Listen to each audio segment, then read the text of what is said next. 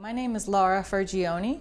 I'm the U.S. Permanent Representative to the WMO and the Deputy Director for the U.S. National Weather Service.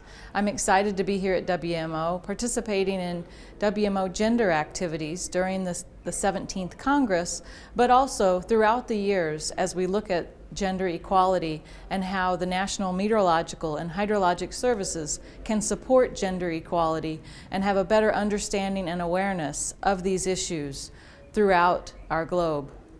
In particular, we are looking at ways to, again, increase the awareness on gender equality and make sure this is not just a woman's issue. This is an issue that we should all embrace. Gender equality helps us better understand how individuals can take action on our products and services because they have different ways of perceiving the information and then taking that needed action in regards to extreme weather and climate issues.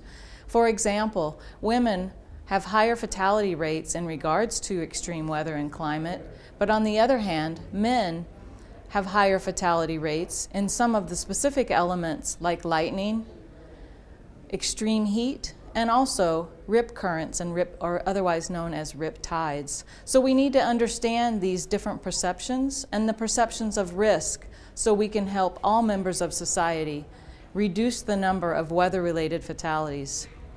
I also have to be a role model for other women to increase the number of women that we have in the sciences. So we have those that information and that diverse perspective. So again, we can reach all members of society and help them help themselves, their families, and even their professional organizations become more weather ready and respond to disaster as it approaches. We continue to see extreme weather increase, and this is even another reason why we need to take proactive action to help ensure awareness of gender equality issues.